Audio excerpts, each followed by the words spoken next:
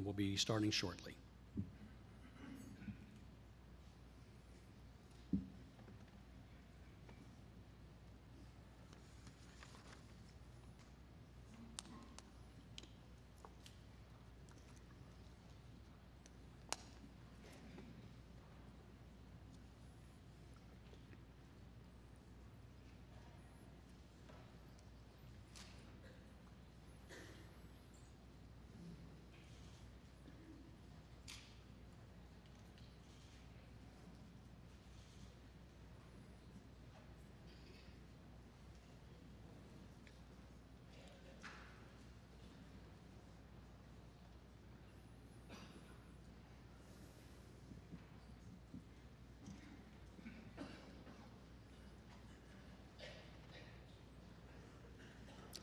Good evening. Welcome to the third and final broadcast debate by the three candidates running for Congress in Illinois' 12th U.S. House District. The candidates are Green Party candidate Paula Bradshaw of Carbondale, Republican candidate Jason Plummer of O'Fallon, and Democratic candidate Bill Enyart of Belleville. The candidates will be questioned by Beth Hundsdorfer of the Belleville News Democrat, Gary Metro of the Southern Illinoisan newspaper, and Jennifer Fuller of WSIU Radio. I'm Jack Tichenor of WSIU Television.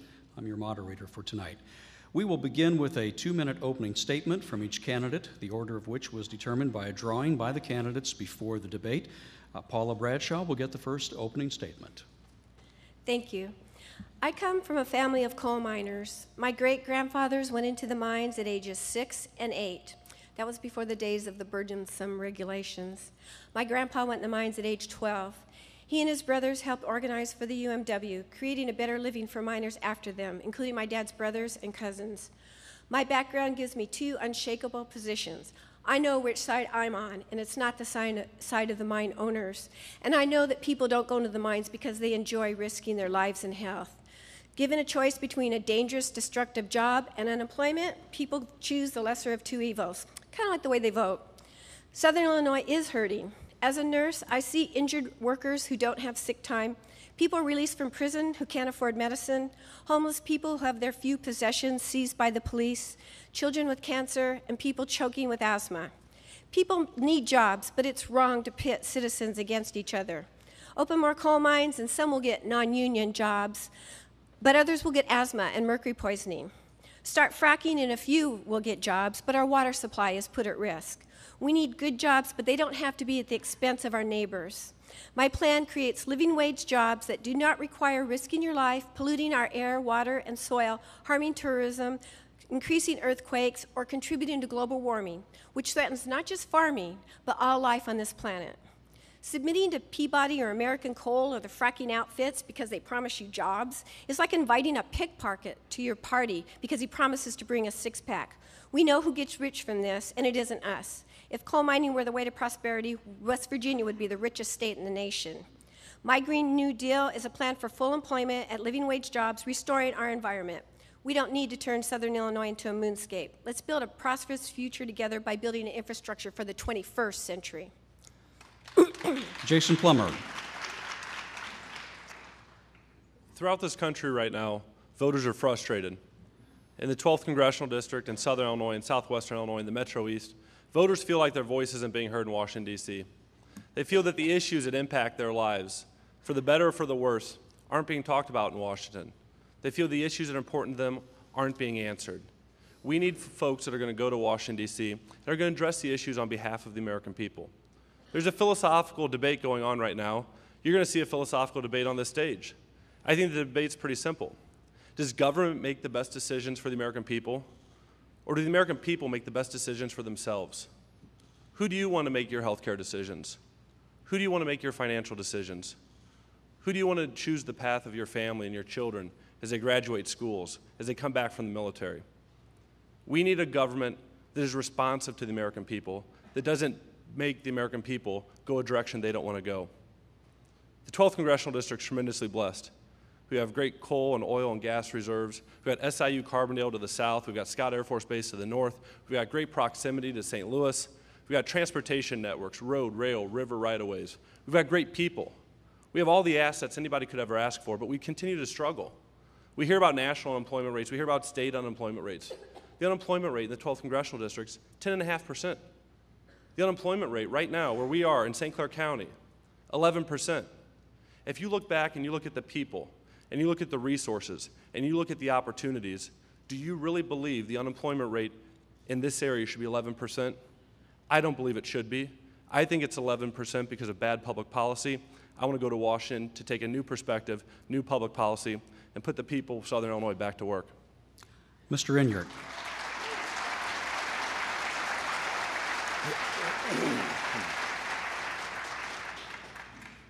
Good evening. I'd like to thank Lindenwood University Belleville, WSIU, the Southern Illinoisan, and the Belleville News Democrat for sponsoring this debate. This debate is a job interview. It's your opportunity to evaluate us without the noxious attack ads paid for by out of state interest groups. Let me take a few minutes to tell you about me. I've lived and raised my family and paid taxes in the district for more than 40 years. I'm the son of a factory worker and spent 35 years in uniform, both active duty and National Guard, protecting our great nation and Illinois. I could never have attended college or law school without the GI Bill and student loans. I left my civilian career of 25 years to serve the last five years as the Illinois National Guard's commanding general. The News Democrat detailed all three candidates in Sunday's edition. I would urge you to go to bnd.com and read all three. There are serious policy differences among the candidates. There are serious differences in experience, in responsibility, and leadership as well. I ask you to consider them. I support tax fairness. Mr. Plummer supports more tax breaks for millionaires. Both Ms. Bradshaw and I released our tax returns. Mr. Plummer has refused for four years to release his. I have a clear, achievable jobs plan. Mr. Plummer's focuses on big business welfare and on tax breaks for millionaires. Scott Air Force Base is the largest single employer in the district and brings $3 billion a year to our economy. Who is better positioned to keep Scott Air Force Base vital? A retired two star general or a 30 year old who's only worked for his father? You will make the determination which of us has a better plan to make it better for working people in Southern Illinois. I ask you to consider which of the candidates has proven experience, proven leadership, proven integrity to make tough decisions. There are three Time. drastically different visions, one Time. clear choice. Thank you. It's time now for questions from our panelists. Each uh, candidate will have two minutes to answer the question. And please withhold your applause until the third candidate in each round has uh, answered the question. First question comes from Beth Hundsdorfer for Paula Bradshaw. Good evening. Good evening. Scott Air Force Base is the largest employer in the Metro East with more than 13,000 civilian and military jobs generating between 2 and 3 billion dollars worth of economic activity a year. If you were elected, what would you do to protect the base from possible cuts that would hurt the area's economy? Scott Air Force Base is a base that's right here in the territory of the United States. I have never said that we don't need a strong defense in this country. What I'm against is military empire with 900 bases all over the world, trying to extend American influence over peoples who probably don't want us there, and um, trying to have control over other people's resources. I mean, I would, I, and I think it's kind of interesting that you point out how much the federal government spending helps the economy of the 12th district because my plan is all about government spending to make a more prosperous economy, but not just with the uh, military industrial complex, but with actual putting people to work building a sustainable infrastructure so we don't have to go all, over the world and try to take other people's resources. We can live within our own resources in our own country, and we can do it by taking, cutting the military budget in half, keeping Scott Air Force Base and the other Air Force and the other bases in this country here to protect us from foreign invasion, but not to go invade other people's countries. So that would be, be $350 billion right there if we cut our military in half, taking it back to 2000 levels, and, and we would still be spending more than the rest of the people and the world Our nearest competitor is China. If we cut our, mil- uh, our military budget in half, we would still be spending two and a half times more than they are.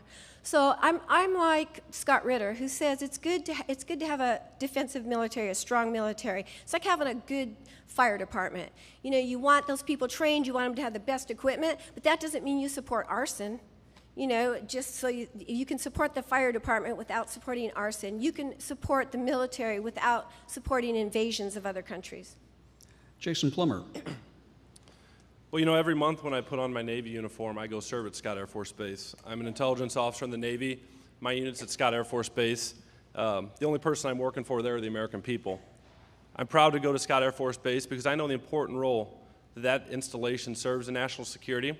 I know it also plays a very important role in, in, in the local economy. $3 billion impacts about 10% of the housing units on the Illinois side of the St. Louis region. It's very important to the local economy, but it can never be overlooked the wonderful job Scott Air Force Base and the men and women in uniform and the civilian workers at Scott do on a day to day basis uh, for our national security. We need to look at Scott not as a situation as how do we keep Scott and maintain Scott. We need to look at Scott from a situation how do we grow Scott Air Force Base. You know, Jerry Costello, John Shimkus, and other uh, elected officials in the area have done a great job in keeping Scott Air Force Base and growing Scott Air Force Base, and we need to send someone to Washington with that same purpose. In order to get that accomplished, though, you need to send someone to Washington that's willing to stand up for what's right, that's not going to toe a party line, be it Democrat or be, Republic, or be it Republican. Scott Air Force Base isn't a Republican or Democrat issue. It's a national security issue. It's an American issue. It's a Southern Illinois issue. Sequestration is a perfect example.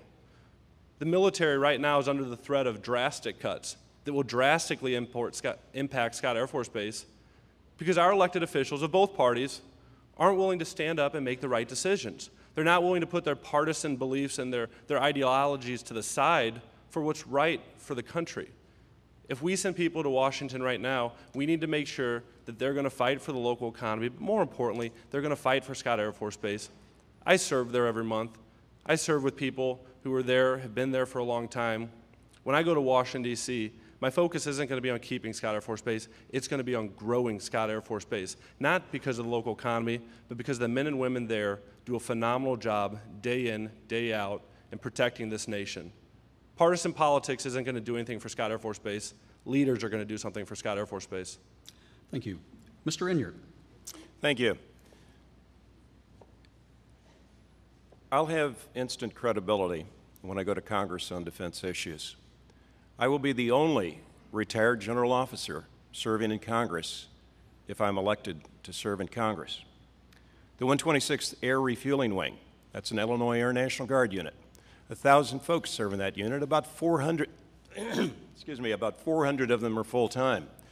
Those folks served under my command. I've already brought units to Scott. I've already brought jobs to Scott. In fact, that Army National Guard armory that you see sitting out there right outside the Shiloh gate, when, that, when we knew that unit was going to come to Illinois, I had the opportunity to help decide where that would be sited. I called a fellow by the name of Terry Beach, who was the Economic Development Coordinator, uh, Director for St. Clair County, and said, Terry, I need some ground. Terry said, What for? I said, For an Army National Guard unit that's going to bring over 150 part time jobs and about 10 full time jobs. He said, I've got five acres at Mid America Airport that we'll make happen. And we made that happen. And we uh, developed that armory, and it was, uh, there was a grand opening of that armory about two years ago. So, um, the, the next thing that we need to bring for Scott Air Force Base to that refueling unit is the KC 46A tanker. That's the new tanker that's going to be built by Boeing. Those contracts are in place, and I know that Scott Air Force Base, that the Air National Guard unit, the Illinois Air National Guard unit there, is in the lead to be the first National Guard unit to receive that plane. And I have the credibility and the knowledge to make sure that that happens. Thank you. The next question comes from Gary Metro for Jason Plummer. Mr. Plummer, a recent University of Illinois study reported that East St. Louis has a poverty rate greater than three times the state's rate of poverty. More than a third of all East St. Louis residents are reported to be living in poverty. The city's unemployment rate of 18.5 percent compares with 10.7% for Belleville and 10.7% for St. Clair County as a whole. Many people in the city feel like the rest of the state and country have written them off. What is your specific plan as a member of Congress to put East St. Louis back on the map economically and socially? Well, you have to have an environment where uh, you can grow jobs, where businesses want to come. And right now, it's, it's not an East St. Louis thing, it's, it's a regional thing. We've got serious problems. There's educational problems in East St. Louis, there's crime problems in East St. Louis. I was down in East St. Louis this past weekend at a Stop the Violence rally in Lincoln Park, meeting with community leaders, meeting with citizens of East St. Louis, talking about things we can do to help that area. But we aren't going to put people in East St. Louis back to work. We're not going to put people in Belleville back to work. We're not going to put people in St. Clair County back to work until there's jobs. So, how do you create jobs? Well, I'd argue you send a small businessman to Washington, D.C., a small businessman that understands how public policy has negatively impacted this region. If you look at the regulations and the taxes and the heavy handed manner in which this current administration and their allies have handled the economy and how they've handled particular industries, they've, handed, they've landed very heavily on the industries that drive the economy of Southern Illinois. We have to have a policy in place where we drive jobs from everybody in the 12th Congressional District. You know, we've laid out a jobs plan. I encourage everyone to go to my website and look at our jobs plan. I encourage everyone to go to my opponents' websites, look at their jobs plans, see where the substance is, see where the specific policy proposals are, see where the specific legislation that we would support exists, see how that would impact this area. We need true tax reform, we need regulatory reform, and we need leadership in East St. Louis that's going to stand up for those things. St. Clair County and East St. Louis have been struggling for a long time. They've been struggling under the same leadership. I think it's time, perhaps, in St. Clair County, we have new leadership. I think perhaps it's time that we send someone to Washington, that we send people to Springfield, and we send people to the courthouse in Belleville that understand how to dro- grow jobs, grow businesses, grow the economy, and put people in East St. Louis and everywhere else in this county back to work. Mr. Enyart. Thank you. You know, that's a difficult problem. If it were an easy problem, it would have been solved years ago. But I think that the solution there is infrastructure. You know, when we look at um, the Port Authority in Granite City, we look at the Port Authority in Sauget, we look at what's happening in Dupo, uh, we look at what's happening in Mount Vernon. Those, all of those communities, the port authorities particularly on the river, and I think that's most analogous to East St. Louis, those port authorities uh, are booming. They're bringing jobs, they're bringing industry, uh, and so I think that's uh, one way to develop East St. Louis would be to develop the infrastructure there. And if you've driven those streets, if you've been down there, you know that the infrastructure in the city of East St. Louis is crumbling.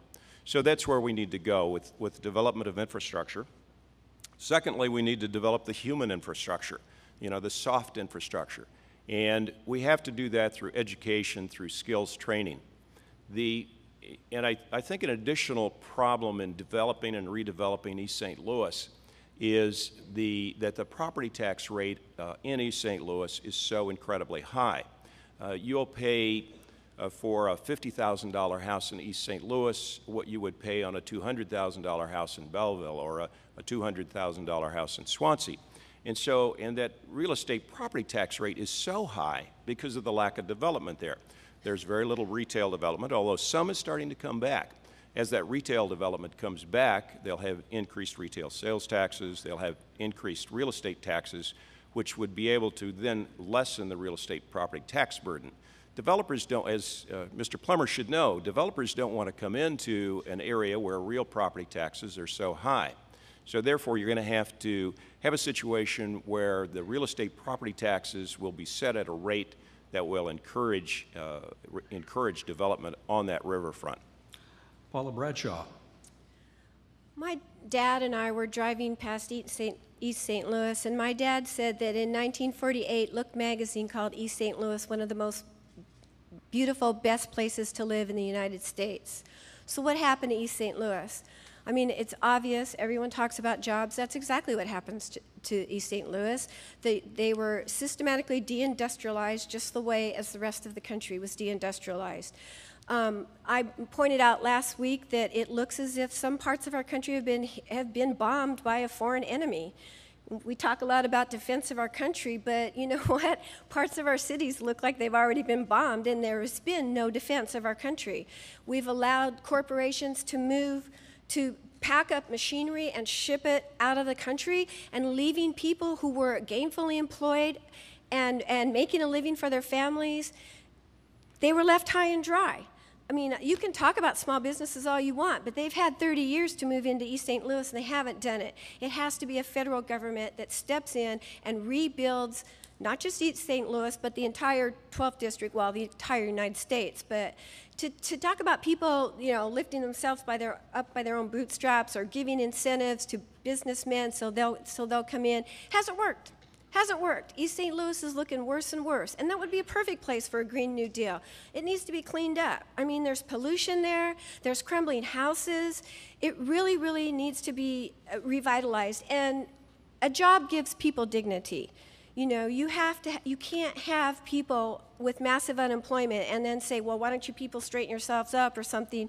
No, you have to have you have to have jobs available so that people have the dignity of going to work and, and supporting their families and, and rebuilding their neighborhoods. And that's what I think should happen. We should have the Green New Deal and put people to work rebuilding East St. Louis and all of the riverfront, actually.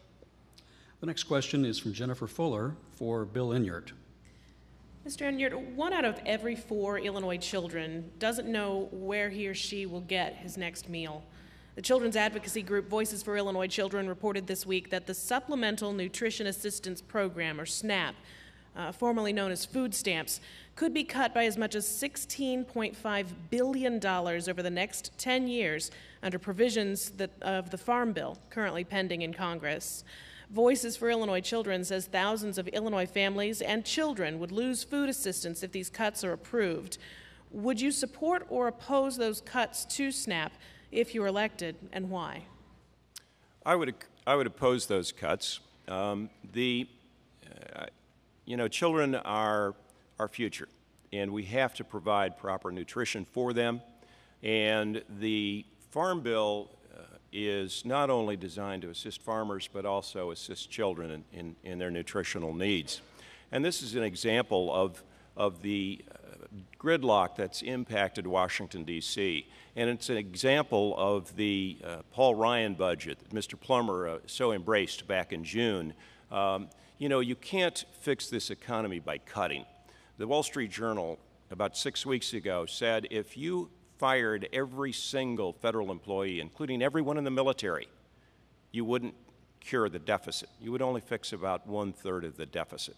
We can't get there by cutting. Now, do we need to cut some things? Yes. Is there waste in government? Yes but is cutting a nutritional program that's designed to help children the right way to go about it? I don't believe so. I think instead that what we need to do is look at a fair tax plan. We need to have millionaires who, who are not paying their fair share currently. Those millionaires need to pay their fair share of taxes. Uh, as Warren Buffett said, it's not right that I pay a smaller share of my income in taxes than does my secretary.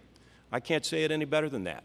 Why is it that Mitt Romney pays 14% of his income in taxes, and I'll bet most of the people in this audience, the people who are firemen and policemen and teachers, pay more than 14%. Let's have the rich people pay their fair share. Let's eliminate the waste and problems, and we can get there without hurting children. Hold it.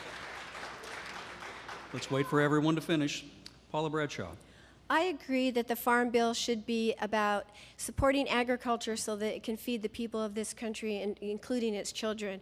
And if we have poverty in this country because people refuse to do the Green New Deal so far, well, then of course we have to have food stamps so that people don't go hungry. I mean, that's absolutely a no brainer that people should not go hungry, but it just goes back into the entire misallocation of our resources in this country. And Martin Luther King pointed out in 1967 a nation that continues year after year to spend more money on military defense than on programs of social uplift is approaching spiritual death. And here we are 40 years later, still spending more on our military than we are on our programs of social uplift, and now talking about taking away the very basic item of life, food, and talking about polluting something else basic in life, our water. I mean, how far have we sunk? We're, we're if we haven't approached spiritual death, we're, we're we're practically in mortar, but mortis, but uh, I really think that it is important to make sure that our children and, and our poor people have enough to eat and have housing and have health care. Mr. Plummer. I would, of course, uh, oppose those provisions. You know, we've been very aggressive in talking about the Farm Bill, talking about why the Farm Bill hasn't passed. You know, that's a perfect example of where I've stepped out against the Republican Party and endorse a discharge petition that would put a Farm Bill out there, take care of our farmers, and take care of the folks that depend on the programs that exist within the Farm Bill. It's important to have people that aren't going to turn everything into a partisan battle. But let's talk about the broader problem. Why do we have one in four children out there that aren't sure where their next meal is going to come from? It's because people don't have jobs. Paula hit the nail on the head earlier. She said jobs bring dignity, jobs also bring opportunity. Since this president came into office, the number of people on food stamps has gone from 32 million to 47 million. One in six Americans live in poverty. If you look at what ha- what's happening in this country right now, the middle class is getting crushed. America does best when the middle class is doing well. And right now, the last three years, we see the, middle, the, the per capita income of middle class families going down $4,300. We see middle class families paying $2,500 more in health care costs. We see middle class families dropping out of the middle class. We see the middle class being squeezed because we have an administration and we have policies in place that don't enhance their opportunities. We have to have opportunities in Washington, we have to have policies in Washington, D.C. that offer these folks opportunities. How do you do that? You put people back to work. You give them the dignity that Paula was talking about. You give them the opportunity that brings their children out of poverty, that puts food on the table, sends their kids to, to school. We don't have that right now. As I said before, the unemployment here is a catastrophe. I would bet you that more than one out of four children in St. Clair County don't know where their meal is coming from because we're above the state average in all these terrible categories. We need a new policy direction. We proposed a new policy direction, and I encourage folks to go online, compare Bill's policy proposals, and compare our robust policy proposals that offer solutions and opportunity. Next question is from Beth Hundsdorfer to Jason Plummer. Mr. Plummer, women currently earn as little as 65% of what a man makes in the same job. What, what, if any, is government's role in making this more equitable? Well, I think government's role, you know, it's something I talk about all the time, or what are those core functions of government? What are the priorities of our federal government, or at least what should they be? And uh, I think national security is our first priority. I think infrastructure is our second priority. But we also have regulatory bodies in place that do good jobs of making sure people are treated equitably, that people are treated fairly. If, situa- if situations like that arise, it's something that has to be addressed. You know, I can't speak for, for every job function out there, but I've actually studied this statistic quite a bit as a person with two older sisters who are out in the workforce right now, providing for their children. And if you look at what's happening right now, a lot of people are being harmed. It's not fair to a lot of people. The statistic that rings true to me isn't the 65% statistic. It's the fact that over 1 million women have lost their jobs since Barack Obama came into office. You want to talk about women losing opportunity. You want to talk about women not making money. You want to talk about a war on women. How come they are bearing the brunt of the job losses over the last four years? It's inconscionable what's happening out there right now. As I said before, we need a federal government that's providing opportunities. I don't care where you live, I don't care if you're a Republican or Democrat, male or female, young or old. We need opportunity. We need a federal government that's going to get out of the way of the American people and allow them to achieve the successes and achieve the dreams that they so much want. Mr. Enyart. Thank you. You know, when I served as the commander of the Illinois National Guard, a colonel got paid as a colonel. Didn't matter whether it was a he or a she. Um, my wife served as a circuit judge until she retired in, in this circuit. She was the first woman elected a circuit judge in this circuit. She got paid as a circuit judge. I think that women who are serving in equal positions to men should be served, or, or excuse me, should be paid equally to men. That's only the right thing to do.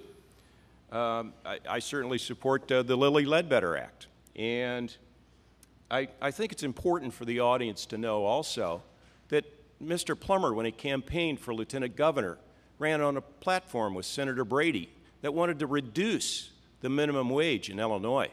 Now, I'll bet there's not very many people in the, in the audience here or on our television audience who would like to see the Illinois minimum wage reduced. You know, all of those folks who are flipping burgers at McDonald's or working at Walmart, are they going, they can't survive on the wages that they make now. Yet this man campaigned on a platform to reduce the minimum wage in Illinois. You know, if women aren't making 65% of what a man makes, are they going to, uh, are they going to be able to survive on a reduced minimum wage? I really think not. I don't think that's the way this country needs to go. I think it's equal work for equal pay. Paula Bradshaw. Well, of course, I think women should make as much as men, um, especially because so many. Uh, there are so many single mothers out there who are struggling to take care of their children, play, pay daycare. They don't have time to feed them, so they go out to fast food places. I mean, peop- women have it hard, even if they're married, but when they're single parents, and a lot of women are, it's even worse. So I not only don't I think the minimum wage should be lowered, I think it should be raised because how do you expect to have a vibrant economy if people don't have money? You know, you, everyone talks about, well, we're going to bring prosperity to this country. Well, you can't have prosperity unless there's circulating money in the economy, and there's not going to be circulating money in the economy if it's all being hoarded in Swiss bank accounts by the 1%. You know, you have to have a raising of the minimum wage. You have to have equality in wages. You have to make sure that there's paid maternity leave. You have to make sure that there is a, a decent working standard for everybody with safe working conditions. There's a lot of things besides the disparity in wages that are wrong with our working conditions in this country today. And yeah, you talk about Walmart, they treat their workers really bad, and so does McDonald's and Burger King. And I'm sorry if I'm calling people out and I'm missing some because you know there's more of you out there. Um, I think that we really need to have more unions, more people standing up for themselves, an increase in the minimum wage, and uh, fair and equal wages for women and men. Gary Metro has the next question for Bill Enyart. Mr. Enyart, there's been a great deal of discussion nationwide about the lack of stability or the level of stability in the Middle, in the Middle East. It can be argued that Iran and Israel are on a collision course. It also can be argued that what initially was celebrated as a movement toward democracy, the so called Arab Spring, has evolved into a threat to American security. As a member of Congress, what path would you recommend for the nation as the proper course of action in the Middle East? Gary, that's a, a difficult question. You know, it's a difficult question because we've seen constant strife in the Middle East uh, for centuries. Um, the, frankly, I believe that, uh, in the Wall Street Journal today, there was, there was an article about uh, Iraq, or, or, excuse me, Iran, and where Iran is in terms of the development of a nuclear weapon. Um, they currently uh, have nearly enough enriched uranium to develop that nuclear weapon. Um, we have nuclear states uh, surrounding, uh, not surrounding, very, very close to Iran. Pakistan is a nuclear armed state. India is a nuclear armed state. Those are very, uh, very unstable, very fragile countries. I think that what we have to work towards is developing a stable uh, system of governance in those countries. When you have change, particularly in change, change in societies that are so stratified, it's a problem. You know, but in many ways, we're much better off than we were 10 years ago.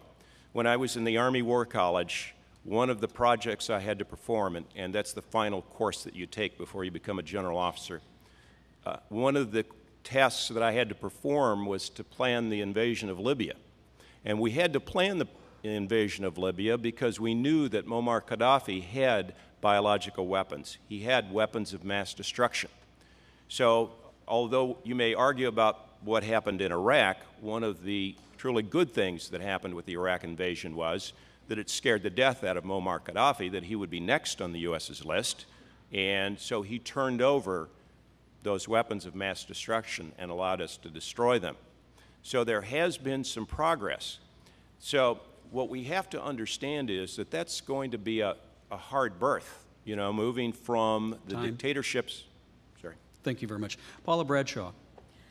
this is another thing where we are getting, it's not, the United States is not entitled to interfere in other people's sovereign nations. And that used to be a Republican position, by the way. It used to be the Republicans that were anti interventionists, that were America firsters. The idea that the United States has the right to go into other countries and tell them how to run their countries is, is a, a sense of entitlement that I think is arrogant and unwarranted. Um, Iran has been We've been told that Iran has been five years away from a nuclear weapon since 1979. The Christian Science Monitor has, has gone over all the times that we have been told they're five years away from a nuclear weapon.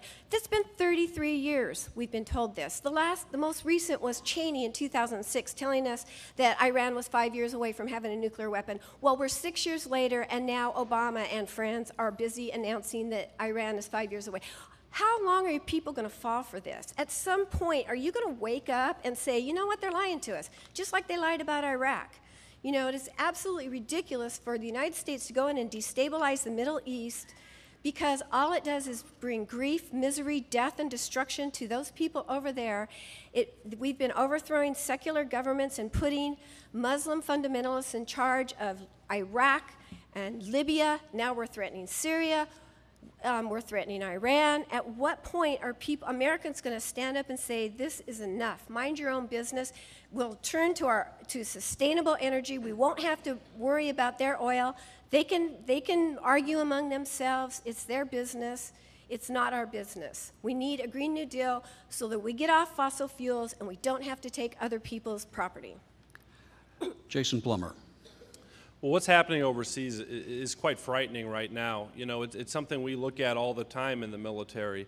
Uh, we can look at what's happening in country by country by country, but, but let's look at the Mideast first, and then let's look at the bigger picture. You know, um, Iraq is, uh, is getting worse by the week, if you watch the news reports. We pulled our footprint out of Iraq.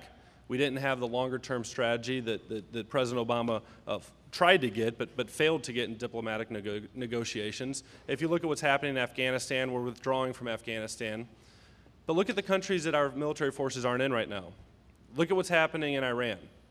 The day that Iran gets a nuclear weapon, and it's not five years, it's, it's about a year or less, but the day that Iran gets a nuclear weapon is the day every conversation we have going forward changes dramatically. Look at what's happened in Egypt.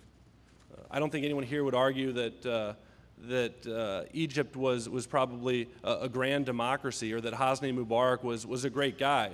But Hosni Mubarak was a friend to America and a friend to Israel, and he kept peace in a really tough corner of the world for a long time. And we stepped back and threw him under the bus, and now we see the direction Egypt's going. It's quite frightening. If you look at what's happening in Syria, the Syrian government has American blood on its hands. Syrian government now has Syrian blood on its hands. Assad has weapons of mass destruction. They're starting to infringe on the territory of our friends like Turkey and Jordan. It's quite frightening. The problem is, America has no foreign policy right now. There's uncertainty across the globe. Our friends don't know if we're going to stand with them. Our enemies, as we see in Libya, clearly don't mind provoking us.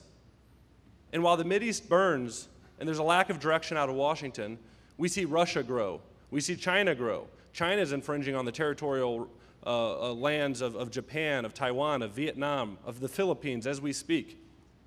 We need leadership in Washington that's not just going to turn things around Time. domestically, but they're going to provide guidance to our friends overseas. Thank you. Next question comes from Jennifer Fuller. For Paula Bradshaw. Ms. Bradshaw, voters say they're tired of negative campaigning and they worry that the bad feelings will continue into the next session of Congress. Please name one idea or program your opponents have suggested that you could reach across the aisle and support. Well, for Bill Enyart, I would say fair taxation. Uh, he, he thinks that, that um, our unfair tax system should be changed, and I would agree with that. Well, Jason? I don't know. I'm trying to think here. Um, I don't mean to be civility. rude. Civility, yes, civility. Um, but that's not really your platform. Actually, um, it is. They're trying to tell me it down there. There's something, there's something. I just can't think of it right now. What's that? Well, there'll be time in the rebuttal if you I'm so sorry, Jason. I can't think of any of your programs that I could go along with, you know? Sorry. Jason, Jason Plummer's response is next. Jason, maybe you can th- come up with something. Well, I would say right off the bat, you know, uh, I, I've got a tremendous amount of respect for someone that's going to go out there and, and talk about the issues they believe in. Um, I, I think Paula does that day in, day out. Uh, I said civility to Paula because I really respect the way she handles herself. I really respect the way she campaigns. And um, if we sent more people like Paula to Washington that's willing to sit down in a civil manner, have a robust discussion with people they agree with and people they disagree with, I think we'd break the gridlock that we see in Washington. That's something I definitely aim to do. Is that an endorsement? What's that? Is that an endorsement? We can, we can talk after the debate. but, uh, but we need, but, but we need people like that in Washington. I think that uh, the, the, the ideas that we've laid out are, are, are along the same lines in terms of working together, uh, no matter what a person believes on the issues. In, in terms of Bill, you know, I think that um, I, I give Bill a lot of credit for his military service. Anybody that's willing to, to put the uniform on, uh, I have a tremendous amount of respect for that. I, I think Bill has um, the best interest of, of our military in mind, and uh, I, uh, I respect that. All right. Bill Enyart. Thank you. You know, someone who's had uh, more than $1.2 million uh, spent on, uh, on attack ads against me by uh, uh, folks who own casinos in China and uh, are under investigation by the federal government, I certainly appreciate that, that question. It's never pleasant to, to have someone you've never heard of spending $1.2 million to slander you. But I, I would say that for Mr. Plummer, um, uh, his uh, position on infrastructure is certainly something that, uh, that we agree on. Uh, we, uh, we each uh, believe that infrastructure needs to be improved in the district. Unfortunately, but with his backing of the Paul Ryan budget and, and the Romney budget, they're going to slash infrastructure spending by 30 percent. So, but I do agree with the infrastructure. As for Paula, I, I greatly admire her passion for the environment. Um, I, uh, I agree with her uh, desire for increased research in clean energy. And, uh, you know, as, as a guy who likes to hike, uh, uh, according to the Belleville News Democrat, and, uh, and a guy who likes to ride a bicycle, uh, I support her on increasing bike paths in the district. All right.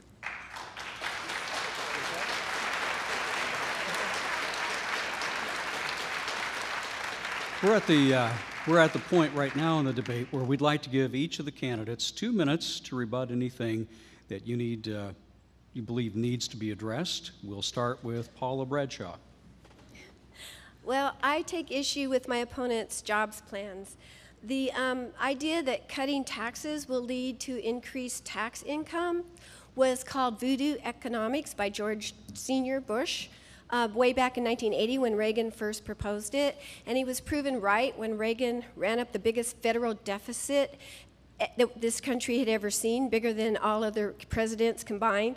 So he was proven right, and then his son gets into office and cuts taxes more and runs up the deficit more than Reagan and everybody else combined. And I realize that Obama is now uh, made it even worse. So obviously, cutting taxes for the rich uh, does not make for more money income in the United States. And then we, uh, as far as regulation goes, or deregulation, I think the Wall Street crash of 2008 shows that when you deregulate the, for the banking industry, just for one, they go on a crime wave. And they also went on a crime crime wave in the 1980s, but at least then they were prosecuted. 1,200 bankers went to jail for their banking crimes in the 80s, and not one has gone to jail under the Obama administration. Obama gets up there and says, Well, you know, I would love, it was immoral, but it wasn't illegal. Yeah, it was illegal. These things are illegal, and if we need a president and an attorney general who will prosecute, prosecute criminals, we definitely don't need to do what the Republicans do and look at a crime wave and go, wow, we need to get rid, we need to make that legal. You know, that's the wrong thing. And then the Democrats want to just ignore the crimes and funnel more money to them under this, uh, giving them more money for municipal bonds, which the Wall Street takes and makes a lot of money off of, and public private partnerships. That's when the public pays and the private profits. So I disagree with both of them. We know what works. The New Deal of, of FDR put millions of people to work within months. We can do it again. That's what I call for. The next rebuttal is from Jason Plummer.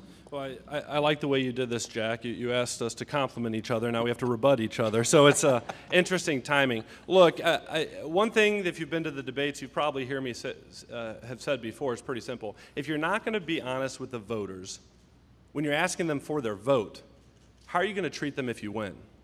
And let me tell you, I've been pretty stunned at some of the things Bill said here. And I encourage people to go look at the media. Go look at the Belleville News Democrat or the Southern Illinois and listen to the radio stations or the TV stations. I have never endorsed the Ryan Plan.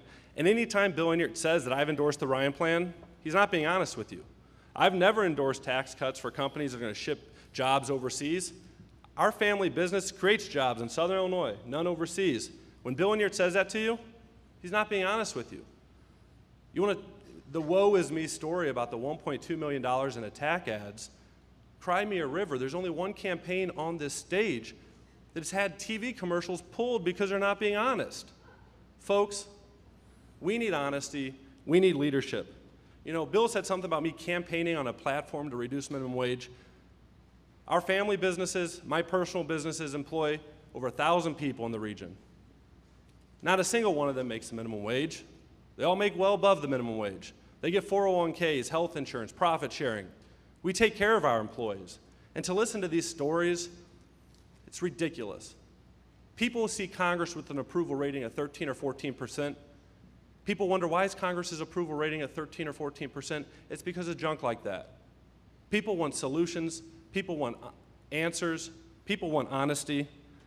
You know, I'm not going to stand up here and have people say things about me that aren't true. I've never endorsed the Ryan plan. I don't support tax cuts for companies that ship jobs overseas. I don't support tax cuts for millionaires and billionaires and private jet owners. I don't support uh, uh, lowering the minimum wage and anything else you come up with. Bill, enough is enough. The voters want answers, they don't want a tax. Wait. Let's hold the applause. Let's hold the applause for the last one. Bill Enyart, response. June 12th, Alton, Illinois Town Hall. Look it up on the internet, it's there. Now, let's talk a little bit about, about East St. Louis. And part of the reason for the collapse in East St. Louis is exactly what Jason Plummer now denies, and that is that manufacturing companies, companies in this country, have received a tax deduction for closing plants here and shipping jobs overseas. Now, additionally, uh, Mr. Plummer has consistently supported the repeal of affordable health care. That was voted on 33 times by the Republican controlled Congress, never went anywhere at a cost of $50 million to the taxpayers of this country. Now, the Farm Bill, which he says, oh, I su supported pulling out and putting on the table, well, the Farm Bill was never voted on once, although Speaker Boehner came here and had a $1,000 a plate or a $1,000 a table fundraiser for Mr. Plummer. I'm not sure what they talked about at that, at that uh, luncheon. Now, let me address this, though, uh, to the Belleville News Democrat. In this morning's editorial, there was one question the News Democrat wanted me to answer and one for Mr. Plummer. Now, the News Democrat said, don't hold your breath for an answer. They want me to say who contacted me initially about running for Congress. They want Mr. Plummer to release his tax returns. Beth Hundsdorfer, hold your breath right now. Terry Beach, Director of Economic Development for St. Clair uh, County, please stand up. I know you're in the audience somewhere, Terry. All right, Terry is, Terry is the person. Now, Mr. Plummer, it's your turn. Are you going to let Beth breathe?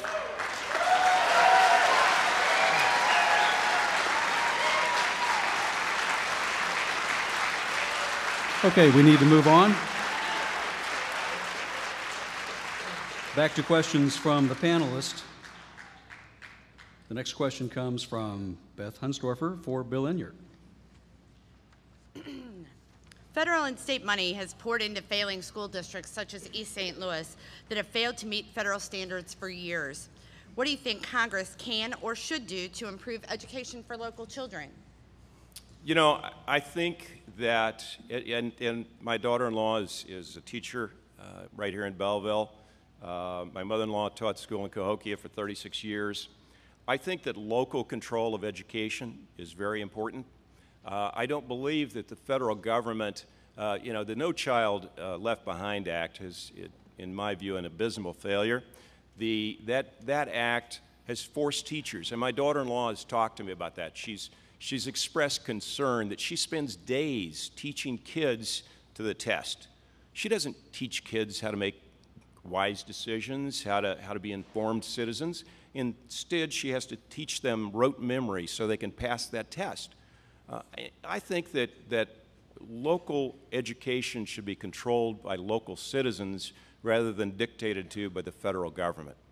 So the, the solution lies, you know, Hillary Clinton said it great, uh, in, in a great manner, that, uh, that it takes a village to raise a child. And what we need to do is strengthen families. We need to, to, to uh, lessen the, the, the violence that kids are exposed to on the streets and on television, and that's how we're going to educate kids. Paula Bradshaw. Well, I think that uh, the attacks on our schools, not just with No Child Left Behind, but also Race to the Top, are another example of how American as a society are failing our children. Fir- one of the first being all our children living in poverty, all our children face, facing hunger from decreasing food stamps. Um, we know how to help children learn. It doesn't start at, at five years old. It doesn't even start at three years old. It starts at birth. And we know that people that talk to their children, carry their children around, um, nurture their children, love their children, those children are more verbal, those children are more engaged, those children learn language, those children learn their names, their colors, their alphabet, their, their numbers. Those children are going to do better when they go to school. So we have to make sure that every parent that has a child, number one, every child should be a wanted child, and number two, every child should be a nurtured child. So we have to teach parents how to be good parents. We have to give parents paid maternity leave so they aren't dropping their six week old off in a daycare while they go back to work at a minimum wage job, which happens all the time. You know, people in this country are not Children in this country are not nurtured. They're not provided for. They're not cared for, and it seems like they're disposable to me. Like, like we live in a so- disposable society, and our children are just one more thing that if they don't, if they don't measure up to the race to the top, then they're just disposed of, and that's just wrong. There's absolutely no reason that every child in this country shouldn't be wanted, nurtured, loved, fed, housed, and, ha- and have a good start in life. Jason Plummer. I, you know, uh, both my parents were actually teachers. I, I've got a lot of friends uh, that, that, that teach, and, and, and you hear the same complaint from teachers that you hear from doctors, that you hear from small businessmen, that you hear from coal miners, that you hear from everybody else. The federal government's getting in the way. I think these are decisions that have to be made at the local level. I think that even if the federal government participates in funding, those dollars should be spent at the discretion of the folks at the local level. Paul is exactly right. It starts with strong families, it starts with the nurturing of children. But once they get into schools, they need to make sure the resources are there, but they also need to make sure that the decisions are being made locally, not by bureaucrats out in Washington, D.C. It's like the opening statement. Do you think a large federal bureaucracy in Washington makes the best decisions for you and your children? Or do you think your family does, the folks at the local level? So that's what we need to do to improve the educational situation. Now, I, I have a little bit of extra time here, so, so we have to go back to something. You know, Beth, the Belleville News Democrat, did ask why I won't release my tax returns. Bill is pretty proud of that. Well, it's because I don't think that it's public information. Anything that people want to know about my assets, my investments, any liabilities, anything I have, it's all public information. You can go look it up. Now, Bill stands here and attacks me on the tax return thing. He's pretty proud of that. But I guess my question would be you know, Bill, why do you take so much money from people that refuse to show their tax returns, like Nancy Pelosi? In fact, on Sunday, Jan Schakowsky, the most liberal member of Congress, is coming down here to raise money for Bill. Not only will Jan Schakowsky not show her taxes, but her husband went to prison for check kiting and tax charges. Now, Bill, are you going to raise money from Jan Schakowsky while attacking me for this? Are you going to look into the eyes of these people and take money from Nancy Pelosi, then deny taking money from Nancy Pelosi? That at the last debate, when Bill Enyart was saying, I haven't taken money from Nancy Pelosi, she was hosting a fundraiser for him in Washington, D.C. If you're not going to be honest with the voters when you're asking for their vote, how are you going to treat them if you win?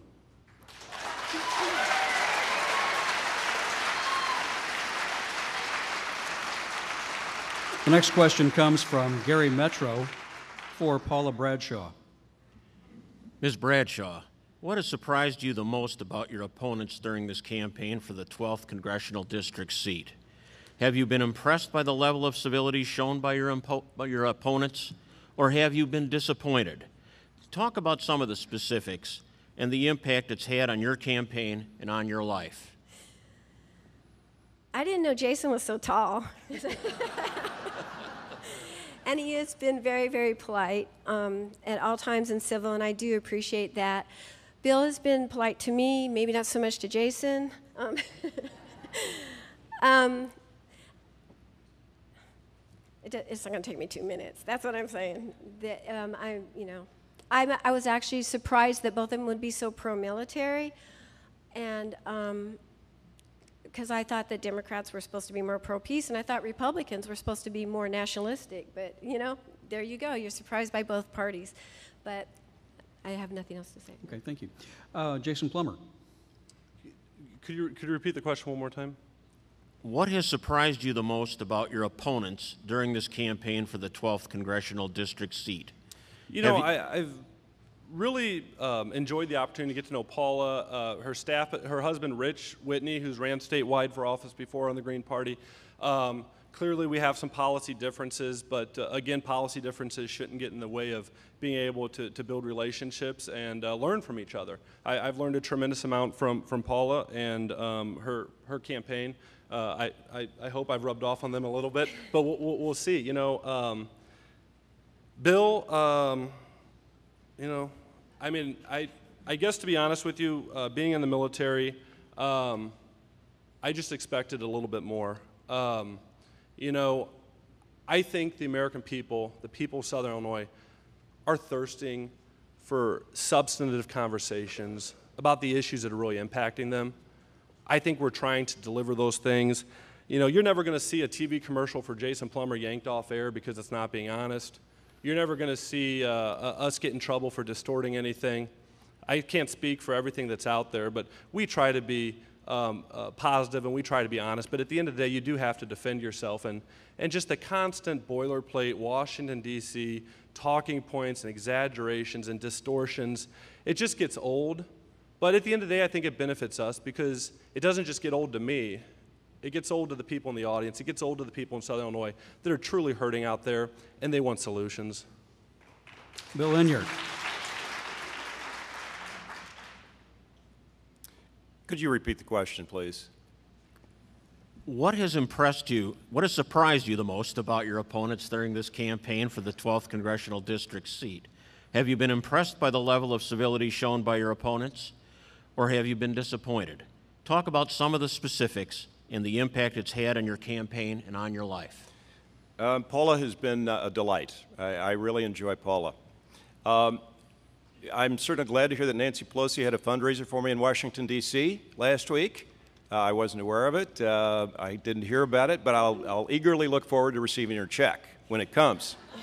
you know, if I'd known that uh, Sheldon Adelson uh, and the, uh, the Chinese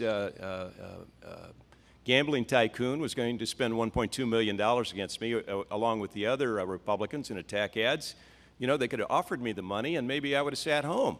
but they didn't do that frankly, I, am astounded that, that Mr. Plummer can sit here and call me a liar when, uh, when I, I don't know anything about a TV commercial not being uh, played that was mine. Uh, but, uh, you know, his television commercials, the only thing I see, the only thing anybody in this audience has seen on TV in St. Louis or in the other markets for the last two weeks has been attack ads against me. You know, I have a story to tell. You've seen my television commercials. I have a story to tell. You know, I'm a working class kid. I've been a success. I know what it's like to pay back a student loan. Mr. Plummer uh, lies to you. You know, he talks about his federal election disclosure.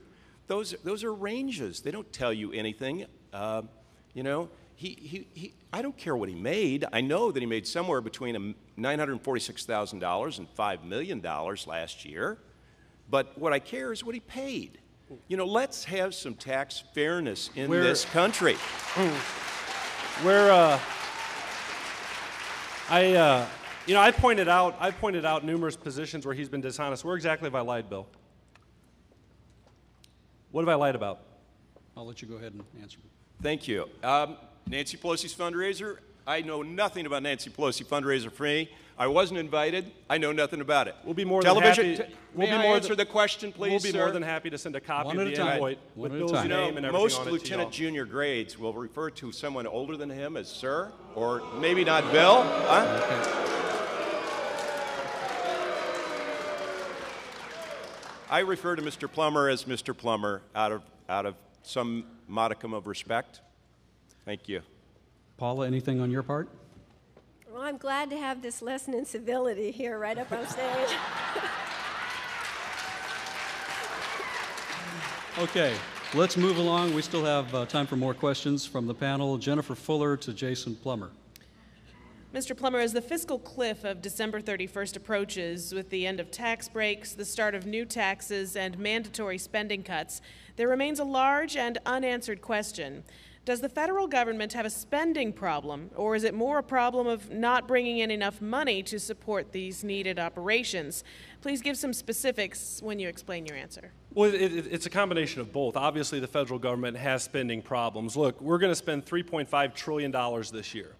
2.5 trillion of the 3.5 trillion goes to Social Security, Medicaid, Medicare, and interest on the debt. That leaves $1 trillion for everything else the federal government does infrastructure spending, education, the military, FBI, you name it, anything outside of those four things, $1 trillion. Our deficit this year is going to be about $1.2 trillion, which means that we could shut down everything the federal government does. We could lay off all federal employees. We could just take care of Medicaid, Medicare, interest on the debt, Social Security, and we would still run a deficit. If that's not a perfect example of a spending problem, I don't know what is. Uh, we've had deficits of over a trillion dollars four years in a row. Things are out of control. We've got to get the spending under control. Now, we do need more revenue to Washington. Now, the question is how do you generate more revenue to Washington? I think that that's a key decision in this debate. Uh, my opponent thinks that we need to raise taxes on everybody. Obamacare, a trillion dollars in new taxes. Tax rates on middle class going up. Tax rates on the businesses that employ 54% of the American people go up.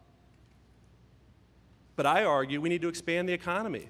We need to get rid of loopholes and deductions that people take advantage of. We need to bring the rates down. When more people are working, when more people are earning a paycheck, more people are paying taxes, and we drive revenue to Washington. Look at what, what's happened in Illinois.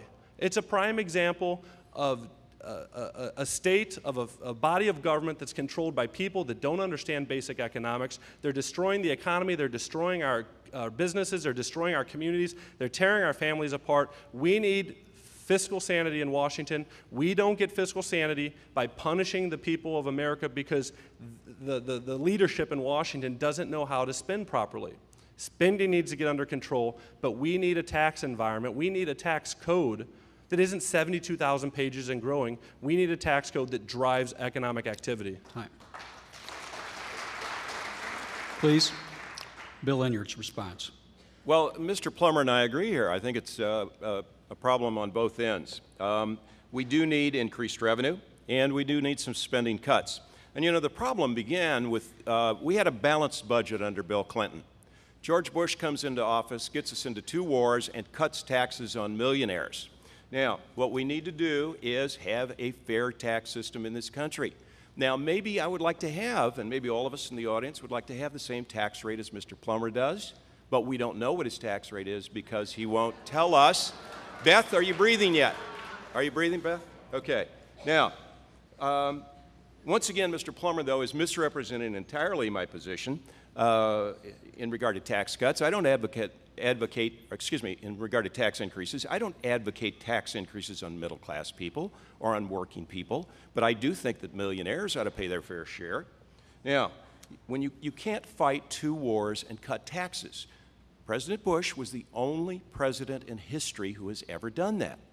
You know, and some of our greatest, greatest uh, economic growth was during the 50s. Do you know what the top tax rate in the 50s was? 90%. Mr. Plummer's arguments don't hold water. Maybe he needs to go back and restudy for his bachelor's degree in finance, but that doesn't hold water. You know, the 60s, look at the 60s. We had great economic growth in the, in the 60s, but what were the tax rates then? The marginal tax rates were far, far higher than they are today. His arguments don't hold water. What we do need to do, we do need to eliminate waste. We do need to increase revenues, and that can be done if, if people like Mr. Plummer, perhaps, but certainly Mitt Romney and Warren Buffett pay their fair share.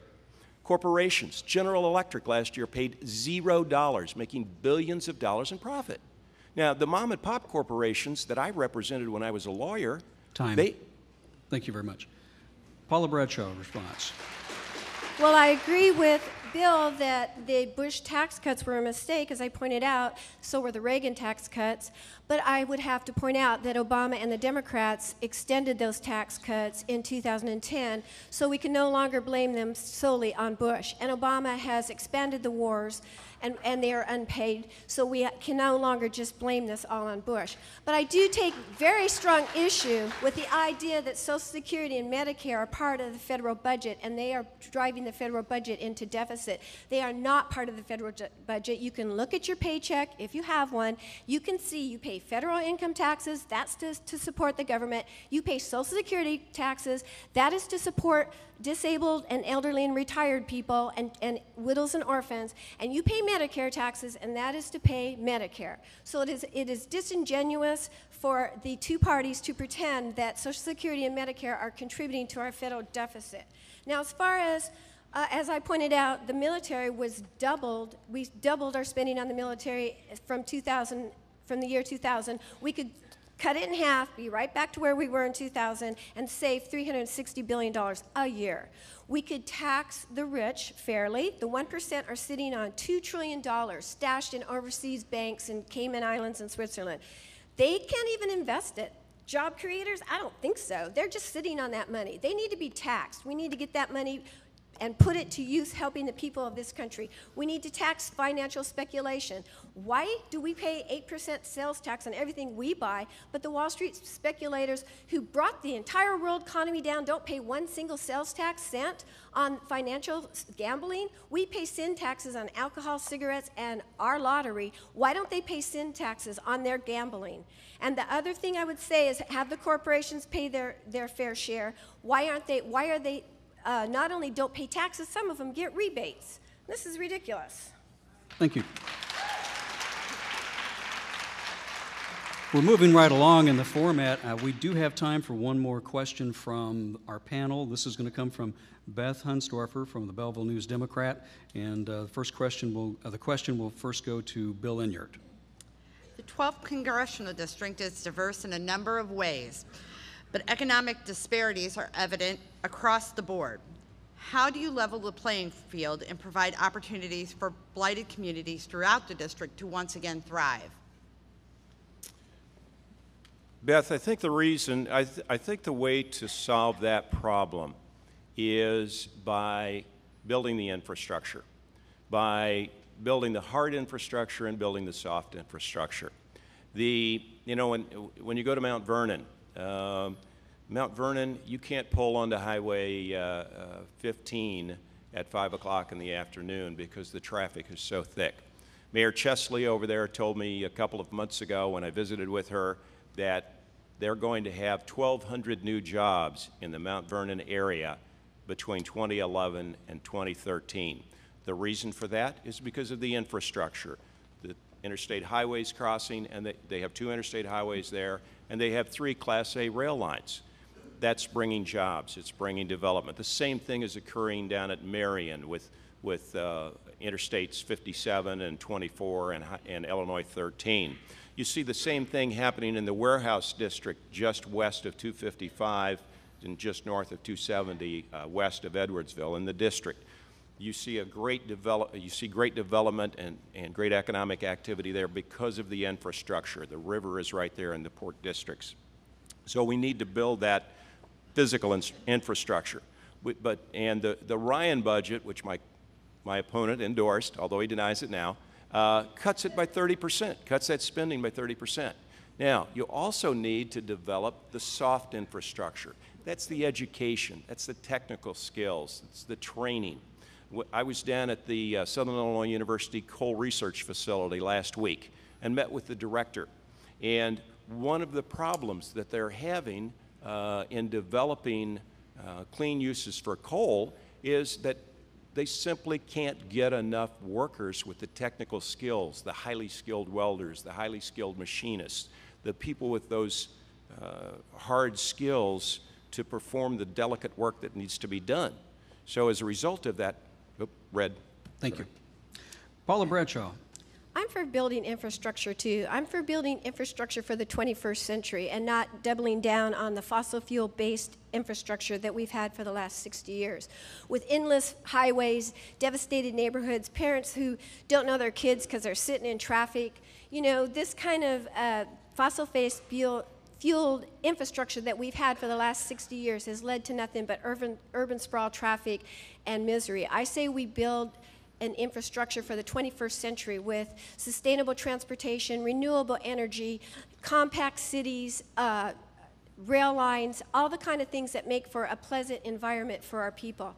And I would like to say that this isn't something that we would have to start all over with. We already have a law on our books to put people to work. The Humphrey Hawkins Full Employment Act, which was passed in 1978 with the support of then Representative Paul Simon, calls for the federal government to step in when unemployment, unemployment rises over 3%, when the job creators in the private sector don't step up to the plate, well, then the government is supposed to. This law is on our books. Why, is, why are it, why is it not being enforced? Why is the president not enforcing it? Why is Congress not enforcing it? Why are we told that 7.8 unemployment, you know, we dropped to 7.8 unemployment and we're all supposed to, you know, jump around? It's a great leap forward or something. No, anything over 3%, the government's supposed to jump in and, and create direct employment by the government. So we, that's what we need to do. We need to rebuild our, our infrastructure for the 21st century and quit doubling down on the fossil fuel based infrastructure. Fossil fuels are dirty, they're destructive, they're causing global warming, and we're running out of them anyhow. So, Jason Plummer. Well, if we're going to bring opportunity and prosperity back to the, the small communities that have been devastated, you know, you look at Franklin County, 102 counties in the state of Illinois, Franklin County, highest unemployment rate, Another company just announced that they were shutting down. That's over 300 jobs leaving Franklin County. If you look at what's happening, it's devastating. Out of those 102 counties, the worst five in terms of the unemployment rate, 12th congressional district. The communities in southern Illinois are being hammered. The counties in southern Illinois are being hammered. But most importantly, the families of southern Illinois are being hammered. You see kids graduate high school, they feel that they can't plant their roots and get opportunity, so they move. They move out of state. You see folks come back from the military. They can't find opportunity. They can't find jobs. They move out of state. 50% of the kids that graduate from college right now can't find jobs. You're not going to grow your communities. You're not going to grow uh, Southern Illinois unless you take care of the people of Southern Illinois. And right now, the middle class is getting hammered. Right now, Southern Illinois is getting hammered. Why are they getting hammered? Well, it's just like I said in the opening statement the policies, the regulations, the taxes. This administration and their allies are pushing onto the American people, land heavy on everybody, but they land especially hard on the industries that drive the economy of Southern Illinois. We've gone from 37 coal mines 20 years ago to less than 10 coal mines. You want to know by, why Benton and West Frankfort, why, why Mount Vernon, why, why Pinckneyville and DuQuoin are struggling? The jobs are gone. The families can't find jobs. The people that want to work can't find jobs. We have to have a robust pro jobs, pro business, pro economic growth policy in Washington, D.C. That's the choice this election cycle. Do you want true tax reform that drives jobs? Do you want true reform that brings opportunity to the middle class? Or do you want to continue to double down on the failed policy that's caused 11% unemployment rate in St. Clair County, that's caused 10.5% unemployment rate in the 12th Congressional District? We need to have these conversations, but most importantly, we need elected officials who are going to go to Washington, D.C., and to Springfield for that matter, and are actually going to fight for the solutions that help the families of Southern Illinois.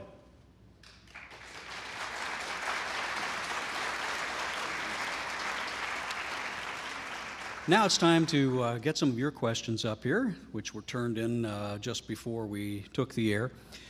First question is uh, for Paula Bradshaw, and these are 30 second answers for everybody. This is what we call the lightning round. First one to Paula A budget must be balanced in some fashion, but first, a budget is a moral document. What are the proper purposes for our federal government to uh, use federal money to fund? And conversely, which is not a moral thing for our federal government to fund? I think I've already talked about that. I think that a government should make sure that its people are fed, number one. I mean, 10,000 years ago when agriculture was invented and we got the first so-called civilization, it was based on people being fed. It was based on that the people, the ruling class in charge, fed the people, and that's how they managed to stay in charge. If, if your government doesn't even do that, you can ask Louis XVI what happens when you don't even feed your people. And after that, they should provide for security, health, education. Mr. Plummer. well, you have to look at what, what the core functions of government are national security, infrastructure. Other than that, I think the American people uh, should be the driving force here. The American people want to be the driving force here. Uh, the problem right now is that we're, we're not providing that opportunity, and the people that need it the most are the ones that are getting harmed the most. Uh, we've got real problems. We need to make sure that we aggressively go after these issues. Uh, if, if, you look at, at, what we see in Washington, D.C., all decisions should go back to two things. One, does it grow jobs or does it grow government? And two, in terms of spending, need to wrap it up. In terms of spending, is it worth spending the money if we have to go to China to borrow it for that particular program? Mr. Enyart, your response. I think the definition of that would be we must spend for the common good. You know, this nation was, was uh, built upon our Constitution, and we must look to what is the common good for the people. And the common good for the people would be uh, the defense of the nation, the, the preservation of society, uh, building infrastructure. Uh, congressmen get to write tax laws, and so congressmen need to be open and transparent about their taxes. Next question. What, and this first question goes, this next question goes to Jason Plummer. What is your position on maintaining Medicare and Social Security? we have to maintain those. You know, I say all the time, where I come from, a promise made is a promise kept. And uh, look, uh, Paula, from what I understand, has never uh, supported anything that's going to gut those programs, nor have I. If you support Obamacare, you support a program that's going to cut $716 billion from Medicare per the president, per his Secretary of Health and Human Services. And it's not just $716 billion nationally, it's $1.7 billion from Medicare from seniors in the 12th Congressional District. It's $535 million from Medicare for seniors in St. Clair County. Mr. Don't boo Enyart. me, boo the administration. Mr. Enyart's response. Thank you. Once again, Mr. Plummer is misrepresenting facts. Uh, he talks often about this $716 million, billion dollars. That same $716 billion appears in the Paul Ryan budget, which he fully embraced on June 12th in Alton, Illinois. The, the, the, and additionally, that $716 billion doesn't come out of Medicare or Social Security. It is a, thank you. No, he just gave you, you still have Oh, very good. about 10 Uh, seconds.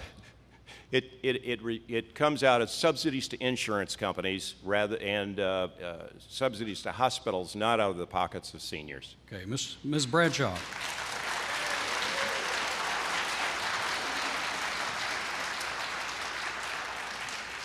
Well, I've already talked about Medicare and Social Security. They're separate programs, and I want them to be continued. I got my Social Security thing in the mail, and it turns out that over 40 years of working, I've put in $16,000 to Medicare. $16,000 over, that's $400 a year to take care of uh, our elderly people in this country. Obamacare, I don't care what John Roberts says, is not a tax. It is a subsidy to the private insurance companies. They want me to pay $537 a month. $537 a month compared to $16,000 over 40 years. Okay. Next question. This one goes, first of all, to Bill Enyart. Do you believe that concealed carry is a constitutional right?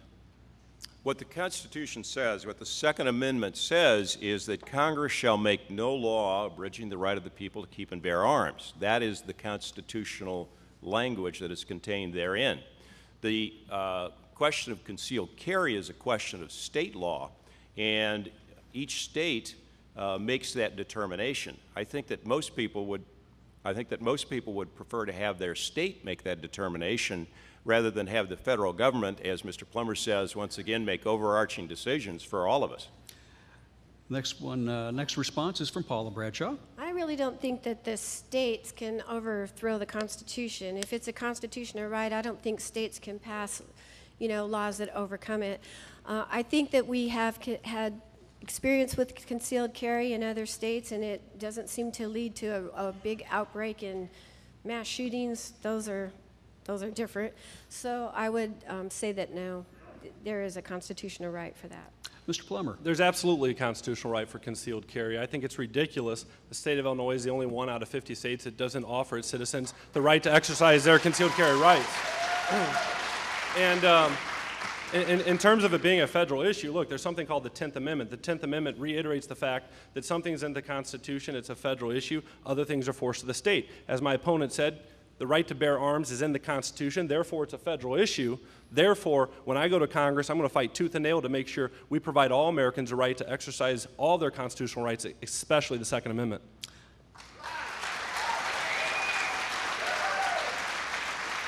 Time now, time now for closing statements. The candidates will each make a two-minute closing statement. The order of that was determined by the drawing before the uh, event. Paula Bradshaw will make the first closing statement. Paula. Many Americans refuse to vote, saying it makes no difference since both parties are the same. Others insist that we have to vote so we can complain. We have the right to complain. This election, you have a chance to vote for a real choice, one you won't have to complain about. Americans give Congress low marks because it is corporate occupied and seems intent on selling the country to the highest bidder. Voters in District 12 have an opportunity this year to send a message by sending a green to Congress. I know that I'm not as polished or rehearsed as my opponents. I'm not backed by big money. I'm not backed by a political machine. I'm just a concerned citizen who is outraged because I'm paying attention. I know that not everyone spends most of their time reading about political policies or the economy, but shouldn't you choose someone who does to represent you? Shouldn't you choose someone who can learn from the past and prefers policies proven to work over policies proven to fail? Who knows that fraud, perjury, inside trading, and theft, are crimes, even if those in power deny it and refuse to prosecute the criminals? Who knows that torture, assassination, and unprovoked invasion are also crimes? Who thinks it's more important to hold public officials accountable than second graders? I hope you choose someone who faces reality and has a plan to deal with it instead of ignore it. Someone who wants to roll back the assaults on our liberty. I want all the Bill of Rights, not just the Second Amendment. Who opposes endless war. Who wants to protect our country for future generations and to make life better for the current generation. Who believes that government should be a force for good, not something to fear. Who believes the government is us, we the people, not it. That someone is me. I'm asking for your vote. Thank you. Jason Plummer, uh, your closing statement. These are serious times. Uh, there's clearly serious policy differences up here on this stage being talked about. The voters have to make a choice. Do they want bigger government or do they want more freedoms? Do they want a robust economy where teachers and doctors and police officers and coal miners and small businessmen can all work together to provide for their families and provide opportunity? Or do you want the federal government strangling Southern Illinois? The fact of the matter is, folks, Southern Illinois is being strangled. Washington, D.C. is taking it to Southern Illinois. I'm in this race because I'm frustrated. I'm disappointed what's happening. I know the voters are frustrated. I want to take common sense and I want to take Southern Illinois ideas to Washington, D.C. If you look at what's happening out there, the, the, the, people are frustrated, not just because the economy is bad, they're frustrated because the people in Washington aren't addressing the issues that they want to see addressed. There's gridlock, there's partisanship. You're not going to see partisanship come out of me. I, I, I, couldn't believe it. Earlier on the stage, I heard someone say George W. Bush started two wars. I thought terrorists that slammed airplanes into buildings started wars. I couldn't believe that. Folks, folks, I'm not going to put Republican labels or Democrat labels in front of what's a good idea. I'm going to put Southern Illinoisans in front of what's a good idea. We need to go to Washington. We need true tax reform. I agree. We need to make sure corporations and folks are paying their fair share. We need to make sure that we eliminate loopholes and deductions. The U.S. Constitution is less than 10 pages. The tax code's more than 72,000 pages because it's being corrupted and we need to streamline it. Look what happened here in Illinois. Governor Quinn, whom my opponent donated to and supported and advised, He gave a bailout to Sears. What did Sears just do? They just shut down the Kmart in Fairview Heights and cost more people in Southern Illinois jobs. We're bearing the brunt of these bad policies. We need leaders. We need people that are going to be honest. You're not going to create jobs in Southern Illinois. You're not going to fix the problems that the people of Southern Illinois encounter on a day to day basis if you're not willing to admit a problem. There's a problem. I'm going to Washington to fix it.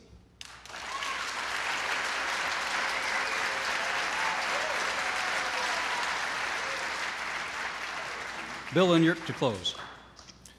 Annette and I would like to thank the sponsors and our volunteers.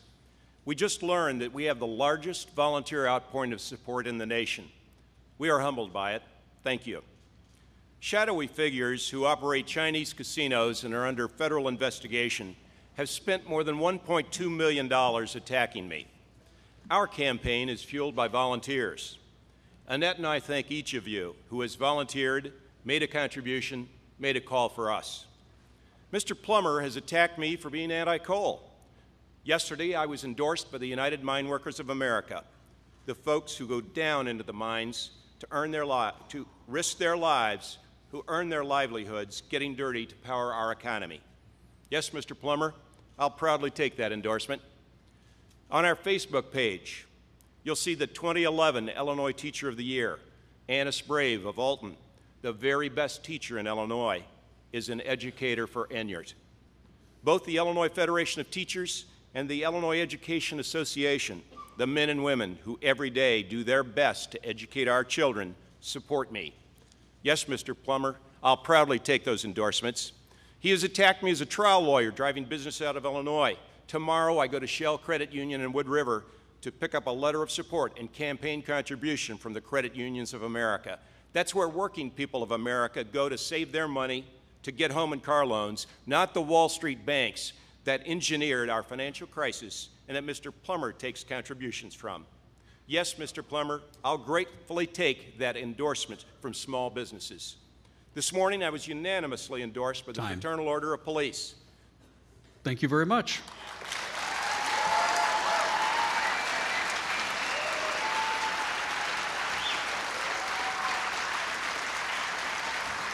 Okay, we have come to the end of our third broadcast congressional debate of this 20,000 this 2012 general election. Let's thank the candidates, Paula Bradshaw.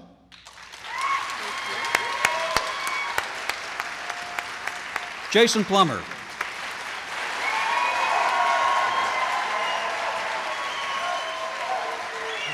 And Bill Enyart.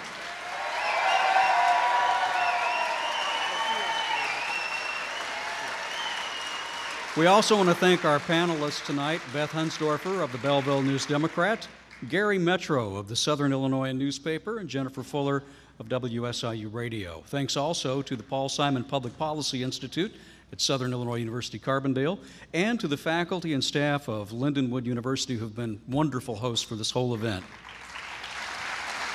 And thank you. What a wonderful audience. Thanks for joining us. Good night from Belleville.